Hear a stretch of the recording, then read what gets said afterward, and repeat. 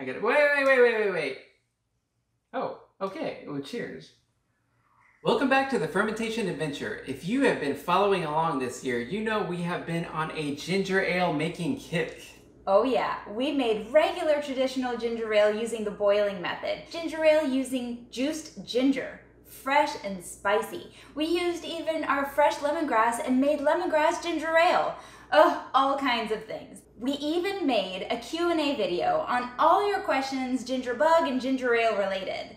But the one question that you all want to know, and we want to know, and that we haven't been able to answer until today's video, is just how much alcohol is in this ginger ale. We are going to answer that question today. Join us on this journey to explore the world of fermentation. If you'd like to learn how to make ferments like these, start now by clicking subscribe and hitting that bell so you don't miss a thing.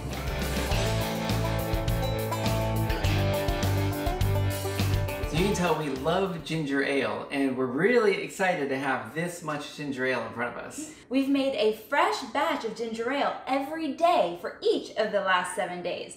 So as we measure them for alcohol content, we're gonna start with the most recent first, which is technically the one that we made yesterday. So that will be a one day old ferment.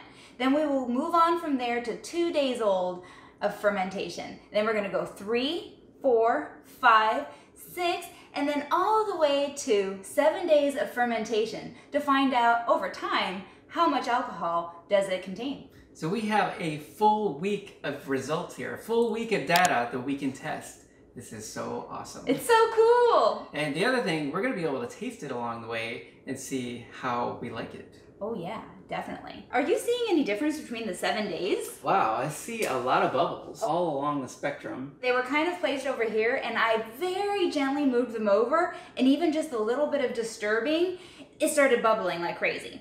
Once we stir this, it's gonna be crazy because a lot of the ginger, like the strong ginger flavor mm-hmm. and the ginger pulp is sitting at all the bottom. I do notice though that over time, they kind of start to settle. All of our ferments do that. So the most recent one was this one, and you can see it's a little bit more cloudy than the others. This one, before I started moving it, was completely clear. So before we get into the alcohol content, we want you to know which recipe we actually use to make this ginger ale. If you make the ginger ale using different recipes and different sugar amounts, you're gonna get a vastly different amount of alcohol. Oh yeah, and we wanted to keep this experiment nice and tidy for you. So the recipe we used for this experiment and testing all of the alcohol content is actually our original traditional ginger ale using boiled method. So if you want the same results, go ahead and check out that recipe. We're gonna include it at the end of this video. And also if you want it right now, you just can't wait, we're gonna include it in the description below. So since we've all had the same question of how much alcohol is in this, we decided it's time to answer the question. And we got something that beer brewers use. We're measuring this using what's called a hydrometer. What it does is it measures the specific gravity. Woo, that sounds complicated. What is specific gravity? Pay attention to this because it's a little bit complicated. Specific gravity is the ratio of the density of a substance, so ginger ale, compared to the density of a standard. And in this case, the standard is water. And we have water actually in our hydrometer right now so we can test it and make sure. You should always test it, right? And it's right there at a one level. That's where water should be. But you don't care about specific gravity. You want to know what is the alcohol. But to do this, you need two measurements. You need the original gravity and you need the final gravity. And in between, some fermentation happens. As all the yeast and bacteria start eating the sugar, the liquid becomes less dense. So if you take the difference between the two and plug that into a formula, you can get the ABV or the alcohol by volume. And that's what you would normally see on a beer bottle. That is amazing. I learn something every day. And this one's always teaching me stuff about fermentation. He has been for years. So we went ahead and took the starting gravity on each of these ferments because even though we use the same exact recipe in all of them, if I didn't take the most exact measurements, there will be slight differences in the gravity within each of these, including the exact same ginger bug. So that way we don't have any variances in our recipe. You can tell we've really used quite a bit over the last week. Check out how much we're gonna have to feed it, we're gonna have to put more sugar, and we're gonna have to add some more water and ginger pieces. Yeah? So we already have that noted, and that is what we're going to be comparing to when we measure the final gravity of each of these bottles. So without further ado, let's get into measuring the specific gravity, the final specific gravity of our first test subject. This one we made yesterday. And so it's been fermenting for one day. Let's have a look. Ooh. It looks good. It looks just as we would expect a ginger ale to look after one day. Very bubbly.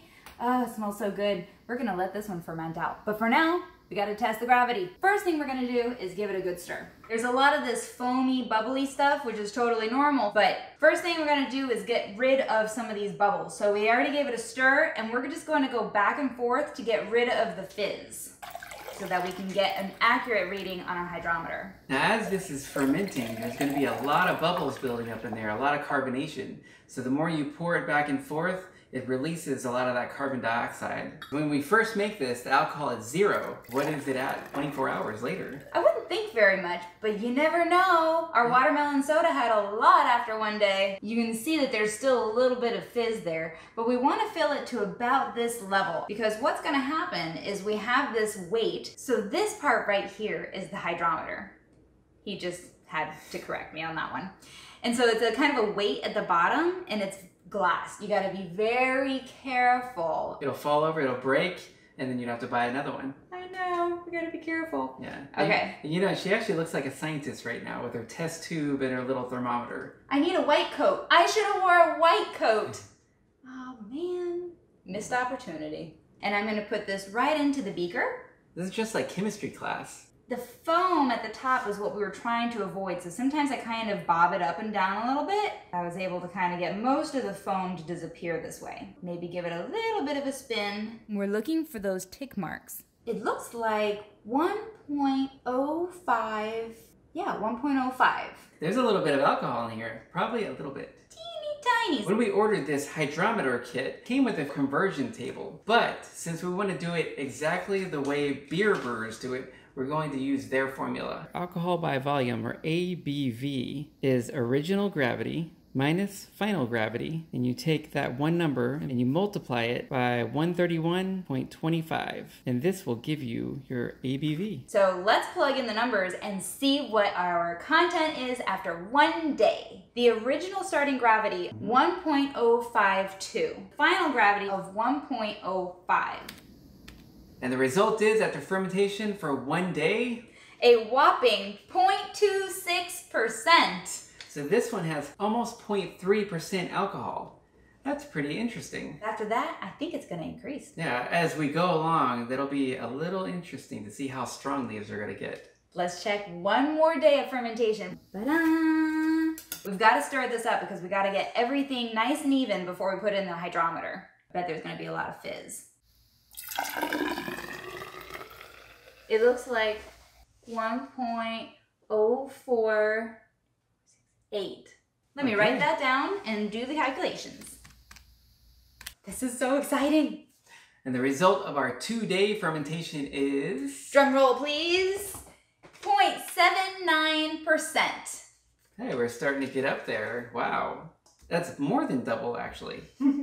Interesting. All Let's right. try for day number three. Day three. Still looks like little champagne bubbles. It's beautiful. I love the smell of ginger ale. I wish I could drink all of these right now.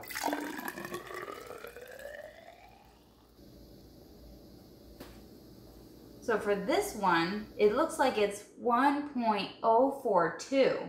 And the results for three days of fermentation, 1.31%. we have broken 1% Ta-da! After three days. I cannot wait to see what happens in four, five, six, and seven. There's much less bubbles showing on the top of this one, so fermentation process is definitely moving along.